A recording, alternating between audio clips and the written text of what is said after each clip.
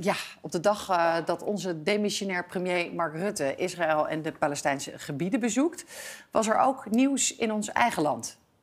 Nederland moet binnen een week stoppen met het leveren van onderdelen van F-35 gevechtsvliegtuigen aan Israël. Dat heeft het gerechtshof in Den Haag besloten.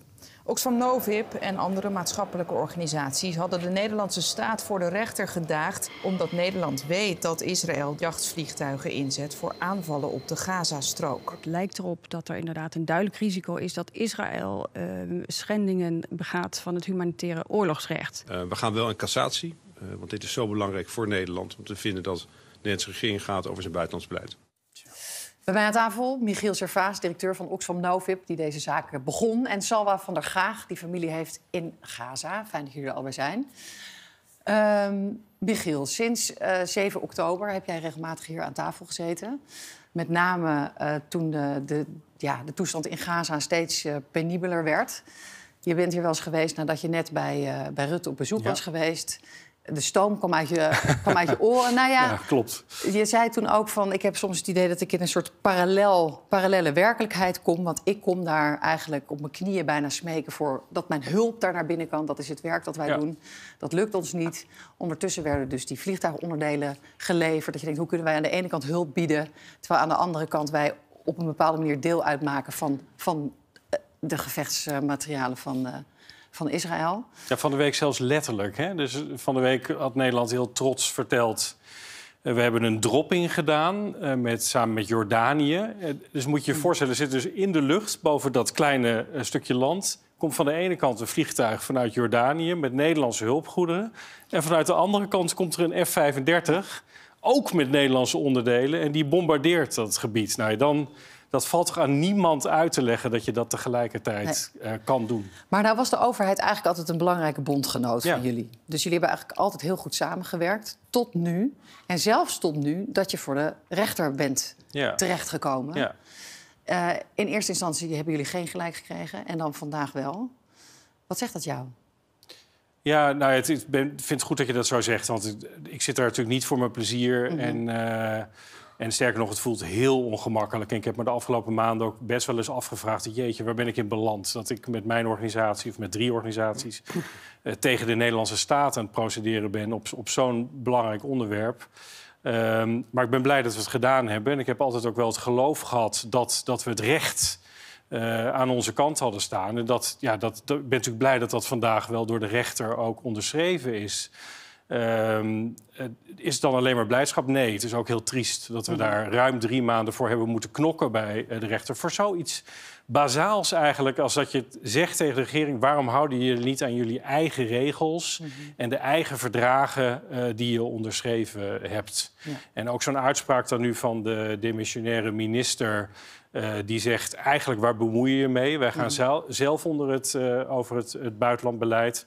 Ja, ik denk dat de parallel met de, met de formatie snel uh, gemaakt is. We leven verdorie in een rechtsstaat. Mm -hmm. Als de rechter zo'n duidelijke uitspraak doet dat de regering zich aan die regels moet houden, dan heb je je daaraan te houden. Ja. En als je dan in beroep wil gaan, is dat prima, maar ja. respecteer ook die uitspraak. Ja. Wat denk jij nou zelf wat hier de consequentie van zal zijn? Hè? Want uh, er werd al gezegd, hè, de onderdelen zullen nu waarschijnlijk uit de Verenigde Staten komen. Dus die onderdelen die komen er toch wel. Ja, wellicht. Maar toch. Nou ja, kijk, je, kunt, je kan dat op twee manieren mm -hmm. bekijken. Dus vanaf vandaag trouwens mogen ze dan mm -hmm. niet. Hè? Dus hebben, er werd gezegd een week, maar ze hebben een week om al het papierwerk in orde te maken. Ja. Maar ze mogen nu niet meer die spullen nee. exporteren.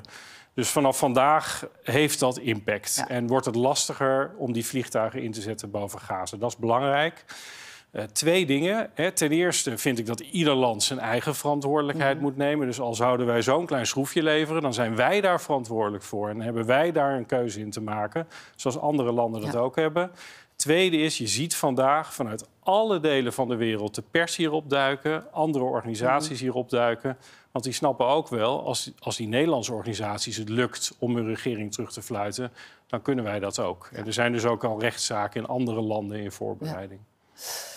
Tom-Jan uh, Rutte is natuurlijk vandaag uh, bij uh, Netanyahu. Is dit iets wat hij meteen mee zal nemen? Nou, ik denk wel dat Netanyahu geïnteresseerd zal zijn. Dus ja. dat kan me voorstellen. Ik, ik, Rutte gaat best vaak naar Netanyahu. En ik volg zijn agenda niet op de voet. Maar het begint natuurlijk wel opmerkelijk te worden dat hij er zo vaak is.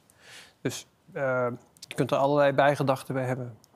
Wat, waarom vind je dat opmerkelijk? Het is de derde keer dat hij er is sinds 7 nou, oktober. Kijk, ja, let's face it, Nederland is geen groot land in de wereld. Uh, dus de, de, regeringsleider van Nederland of de minister-president is, is niet uh, de eerst aangewezene, mm -hmm. uh, de eerst aangewezen gesprekspartner voor de premier van Israël in, in een situatie als deze. Ja, dus het, het, lijkt alsof hij vooral ook wil laten zien hè, dat hij er, ondanks inderdaad ja, de druk die ook op de Nederlandse regering toeneemt, dat hij heel actief is.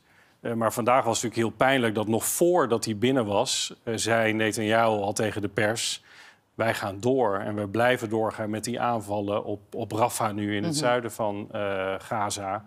Ja, dus dat laat eigenlijk al zien hoe, hoe weinig... Ik bedoel, het is prima dat hij het doet... maar hoe weinig dat diplomatieke, het alleen maar gepraat... en een beetje woordje hier, woordje daar uithaalt. Je zal, als je ziet dat er uh, recht geschonden wordt... Mm -hmm. 30.000 uh, doden, meer dan de helft vrouwen en kinderen zal je op een gegeven moment ook conclusies moeten trekken, consequenties daaraan moeten verbinden. En dat weigert Rutte te doen. Ja, en dit is misschien een begin. Jouw overwinning. Nou, dit is een begin, is want een het begin. is, uh, nu moeten ze. Ja. En nogmaals, dat is heel triest. Wat ik zelf hoop, is dat, dat misschien na die eerste reactie van we gaan in, uh, in cassatie dat het in het kabinet, uh, waar ook echt wel andere stemmen zitten... Van, van D66, van de ChristenUnie...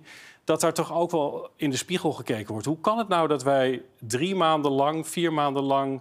beleid hebben gevoerd dat nu zo hard onderuit gehaald mm -hmm. wordt door de rechter? Hè? We hebben natuurlijk vaker gezien de afgelopen jaren... dat de regering teruggefloten wordt. Maar dan duurt het vaak heel lang ja. voordat ze echt tot inkeer komen. Ik hoop dat dat nu ja. gebeurt.